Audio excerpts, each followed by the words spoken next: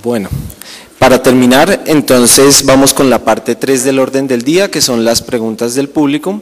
para lo cual les pediría el favor eh, se dirigieran a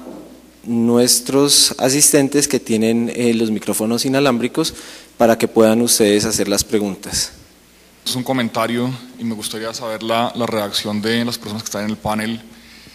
y es un mensaje que me queda de esto, eh, de alguna manera es que uno de los, de los principios fundamentales de cuando se planeó Transmilenio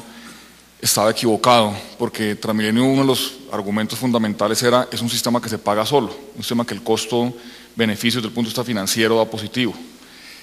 Un poco el, mensaje que me queda aquí, tanto lo que dijo el doctor Juan Carlos como lo que dijo Jorge, es, ese no es el enfoque, lo que hay que hacer es mucho más agresivo en la inversión, que sea un servicio muchísimo mejor y de esa manera, digamos, se resuelve, eh, bueno, incluyendo externalidades y todo lo que ya se comentó, entonces quedo como con ese mensaje que a lo mejor faltó, faltó ser más agresión en esa parte de inversión en, el concepto fundamental de Transmilenio. Eh, buenos días, solo como para entender un poco la, observación de, Eduardo, yo eh, desde el punto de vista de Transmilenio de ser un sistema que se pague solo, se pagaba solo en el sentido de su operación, no necesariamente en la inversión, la inversión de Transmilenio también fue eh, pues en parte dada por el gobierno distrital y por el gobierno nacional. Entonces, en el sentido que se plantea acá, yo creo que esas alternativas de que los sistemas de transporte público o incluso algunas de las carreteras se paguen solas,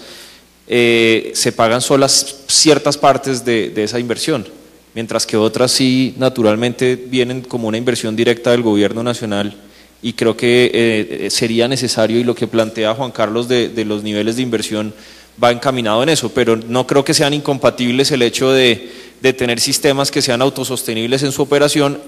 sin incluir eh, las áreas de, inversión directa en la infraestructura. Yo ahí discrepo un poquito. Eh, el escenario 2 se basa en un excelente sistema de transporte público. Estamos suponiendo que se debe ampliar, además de implantar el metro, se debe ampliar la red de Transmilenio, se debe seguir ampliando de tal manera que cada vez más un mayor porcentaje de, usuarios del transporte público lo hagan en vías exclusivas, por lo tanto mucho más rápido y mucho más confiable. Hay una ecuación que no cierra y es una ecuación en donde usted espera que la población más pobre tenga una tarifa que pueda pagar y al mismo tiempo tengamos un excelente sistema de transporte público. Entonces yo creo que ahí hay que pensar necesariamente, posiblemente en subsidios para la operación del transporte público en algún momento. Yo creo que la meta de autosostenibilidad probablemente para el futuro no es lo que tenemos que perseguir.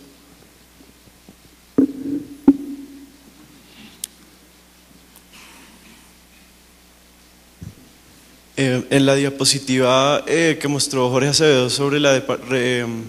repartición de, de, los, de los modos de transporte en, en Bogotá, eh, donde, pues, donde salía cómo se, cómo se distribuye hoy en día y en los dos escenarios, eh, me preocupó un poco que el, el, el, transporte no motorizado se redujo del 17 al 12%, lo cual me parece que va en contra, digamos, de ciertas políticas de ciudad acá en Bogotá, como la creación de ciclorrutas, de alamedas peatonales, y pues ese tipo de proyectos. Entonces me gustaría saber cómo por qué, el porqué de esa reducción. Eh, ¿Hablamos del transporte no motorizado? No, digamos que los viajes, el número de viajes total sigue aumentando, pero hicimos el supuesto que el porcentaje, digamos la tasa va a seguir fija y como aumentan tanto los viajes en transporte eh, en automóvil o, en, transporte público, la representatividad de los viajes no motorizados disminuye. O sea, supusimos una tasa que, de, de transporte no motorizado que seguía igual a la actual. Interesante todo esto y pues estoy de acuerdo, pero como todo esto sin políticas públicas o sin inversión, pues o sin eh, participación en, en, en la política, las decisiones no se dan.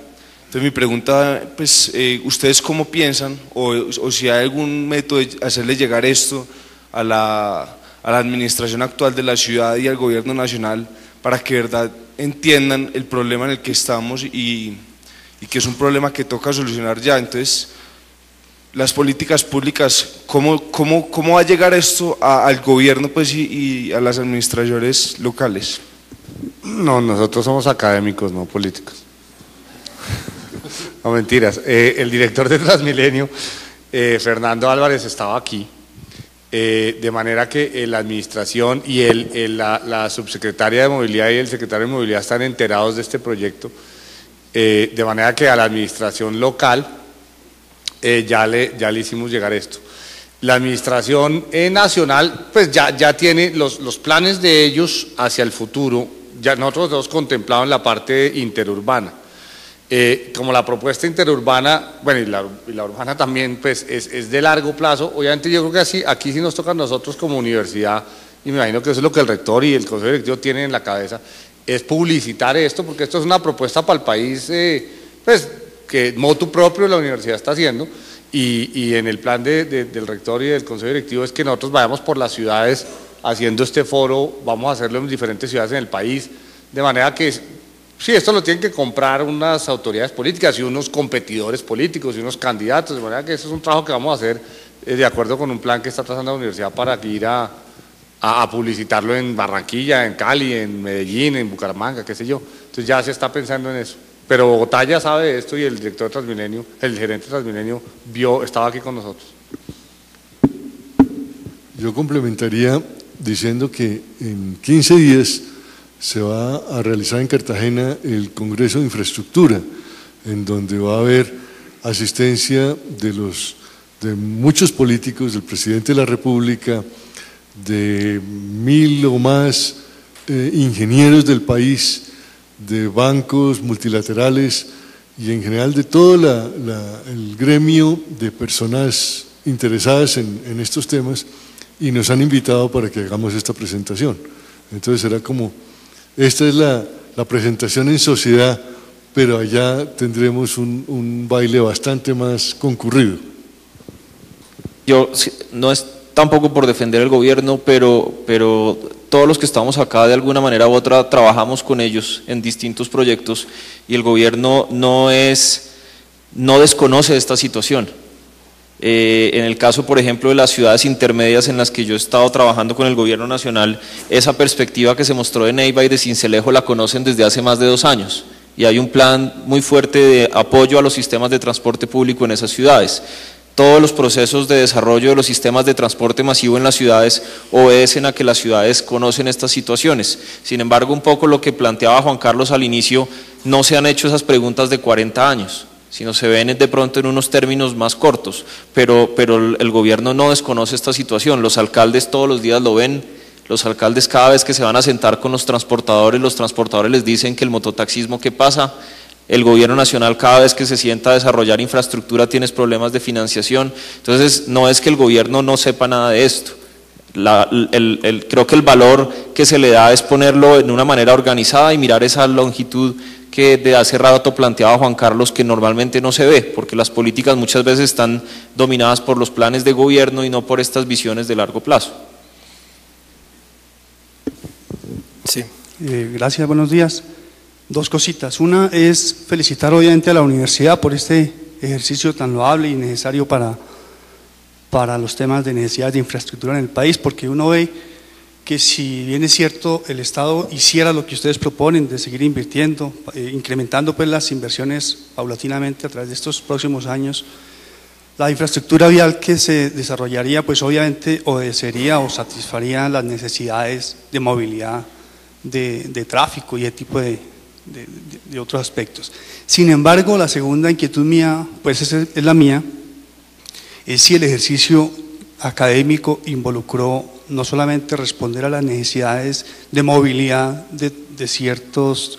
autos, motos, sino se articuló de alguna manera con, la, con el proyecto de expansión productivo que tiene el país de ciertos sectores como la minería, como el, agropecuario. Es decir, si la infraestructura que se construyera en estos, estos años que ustedes proponen sería eh, necesaria para movilizar toda esa cantidad de productos.